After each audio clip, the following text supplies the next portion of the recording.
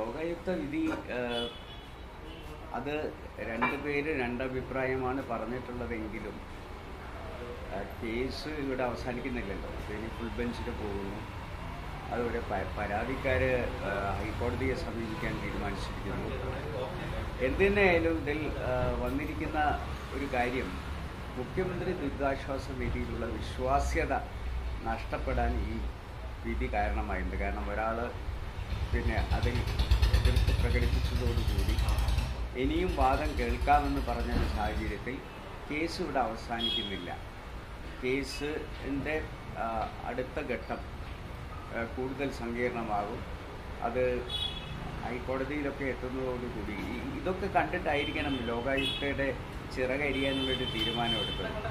അപ്പോൾ ഇവർക്കുള്ള ആശ്വാസം ചിലപ്പം ഗവർണർ ഒപ്പുവെക്കുന്നതോടുകൂടി ലോകായുക്ത പിന്നെ നിഷ്ക്രിയമാകുമെന്നുള്ളതായിരിക്കാം. പക്ഷേ അതിനു മുമ്പ് തന്നെ ഈ തരത്തിലുള്ളൊരു വിധി വന്ന സാഹചര്യത്തിൽ അതിൽ ഒരു വ്യക്തി വളരെ കൃത്യമായി അതിനെക്കുറിച്ചുള്ള പരാമർശങ്ങൾ നടത്തിയ സാഹചര്യത്തിൽ മറ്റൊരാൾ പറഞ്ഞത് ക്യാബിനറ്റ് തീരുമാനത്തിന്റെ വിഷയത്തിൽ നമുക്ക് എത്രമാത്രം ഇടപെടാൻ സാധിക്കുമെന്നുള്ളതാണ് ഈ ഡബിൾ ബെഞ്ചിലെ ഒരാളുടെ അഭിപ്രായം.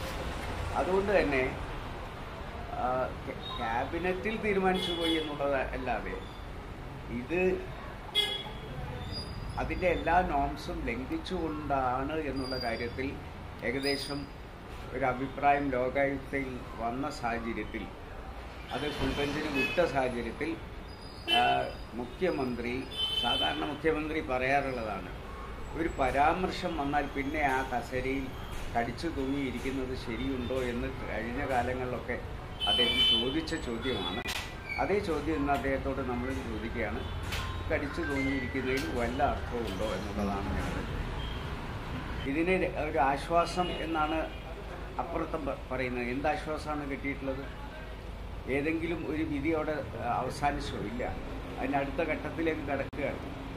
ആ വിധിയിൽ തന്നെ പകുതി വിധിയെ അദ്ദേഹത്തിന് കിട്ടിയിട്ടുള്ളൂ ഈ ഡബിൾ ബെഞ്ചിൽ ഒരാൾ വ്യക്തമായി പറഞ്ഞിരിക്കുന്നത് ഇത് ദുരുപയോഗം തന്നെയാണ് എന്നാണ്.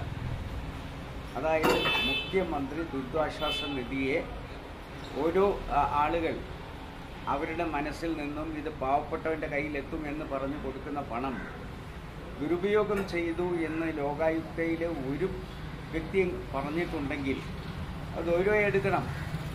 മാത്രമല്ല ഈ ദുരിതാശ്വാസ നിധിയുടെ വിശ്വാസ്യത തകർന്നിരിക്കുന്നു. ഇനി അടുത്തത് ഫുൾ ബെഞ്ചിന് പോവുകയാണ്. ഇനി ഹൈക്കോടതി ബാക്കി കിടക്കുന്നുണ്ട് അങ്ങനെ വരുമ്പോൾ ഇത് വിധി എന്താകുമെന്ന് പറയാൻ പറ്റില്ല. അതുകൊണ്ട് തന്നെ ആശ്വാസം എന്ന് പറയാൻ പറ്റില്ല. ഇത് ഗൗരവമായി കാണേണ്ടതും മുഖ്യമന്ത്രി എന്ത് ചെയ്യണമെന്ന് അദ്ദേഹം തന്നെ തീരുമാനിക്കേണ്ടത്. കടിച്ചു തൂങ്ങി കിടക്കുന്നത് ശരിയുണ്ടോ എന്ന് ചോദിച്ച അദ്ദേഹത്തോട് അതേ ചോദ്യം ഞങ്ങൾ തിരിച്ചു ചോദിക്കുകയാണ്. ഇത് ഇത് മാത്രമല്ല അദ്ദേഹം കാത്തിരിക്കുന്ന എന്തിനാന്ന് വെച്ച് കഴിഞ്ഞാൽ ലോകായുക്തയെ ചിറകരിയുന്നതിന് വേണ്ടി ഗവർണർക്ക് ബില്ല് അയച്ചിരിക്കുകയാണ്. അത് ഒപ്പുവെച്ച് കഴിഞ്ഞാൽ ഇത് രക്ഷപ്പെടും എന്നുള്ളൊരു ധാരണയാണ്.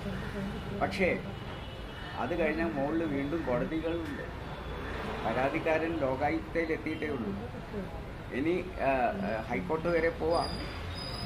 ഇത് ശക്തമായിട്ടുള്ള ഒരു ചർച്ചയായി മാറും. ദുരിതാശ്വാസ നിധി എന്ന് പറയുന്നത് ആശ്വാസം പാവപ്പെട്ടവർക്ക് കിട്ടാനുള്ളതാണ് ദുരിതം അനുഭവിക്കുന്നവർക്ക് കിട്ടാനുള്ളതാണ്. അതിനെ വകമാറി ചെലവഴിച്ചു എന്ന് പറയുന്ന കാര്യത്തിലുള്ള പരാതിക്കാരന്റെ പരാതിയിന്മേൽ ലോകായുക്തയിലെ ഡബിൾ ബെഞ്ചിൽ ഒരാൾ നടത്തിയ പരാമർശമാണെങ്കിലും മറ്റേയാൾ പറഞ്ഞിട്ടുള്ള ക്യാബിനറ്റ് ഡിസിഷനിൽ നമ്മൾ ഇടപെടേണ്ടതാണ്. അല്ലാതെ ഇതിൽ തകരാറുണ്ട് എന്നുള്ള കാര്യത്തിൽ അവർക്കൊന്നും മറ്റ് രണ്ടഭിപ്രായമില്ല. അതുകൊണ്ട് ഗൗരവമായി കേരളം കാണേണ്ട ഒരു വിഷയമാണ്.